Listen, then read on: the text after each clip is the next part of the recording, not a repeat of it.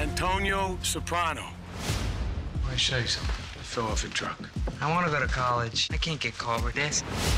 You want to be a civilian, I appreciate that. But pay attention to me for once, okay?